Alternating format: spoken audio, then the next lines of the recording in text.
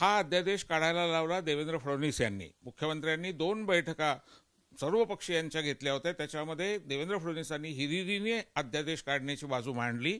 एवढंच नाही ते विरोधी पक्षनेते असताना त्यांनी मुख्यमंत्र्यांच्या परवानगीने लॉ अँड ज्युडिशियरीची विधी आणि न्याय विभागाच्या बैठका घेतल्या अधिकाऱ्यांच्या.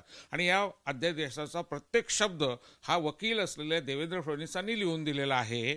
त्यामुळे हा अध्यादेश उडवला गेला याची पहिली जबाबदारी देवेंद्र फडणवीसांची आहे.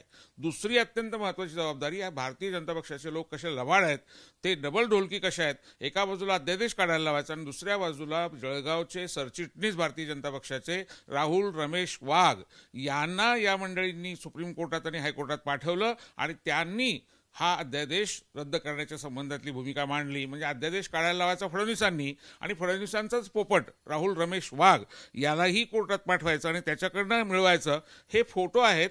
आपण बघू शकता देवेंद्र फडणवीसांच्या सोबत राहुल रमेश वाघ आहेत. राज्य मागासवर्ग आयोग मी मागाशी म्हणालो तसं वडेट्टीवारांच्या अखतारीमध्ये येतो. त्यांच्या खात्याच्या अंतर्गत आयोगाचं काम चालतं आणि आयोगाने साध्या कार्यालयीन कर्मचाऱ्यांच्या केलेल्या मागण्या निधीच्या केलेल्या मागण्या कर- कार्यालयाच्या जागेची केलेली मागणी याच्यावर सुद्धा माननीय मंत्री वडेट्टीवार काहीही करू शकलेले नाहीत.